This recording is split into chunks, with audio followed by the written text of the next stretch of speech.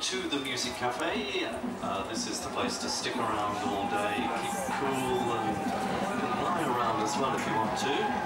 Enjoy the daisies, pick up the daisies, you know. Um, I was reminded just a few minutes ago of uh, Yehudi Menuhin, apparently at one concert in the 60s, uh, uh, playing away and uh, everyone applauded and then he, he then said um, thank you that was the sound check. I hope you enjoyed the concert as much.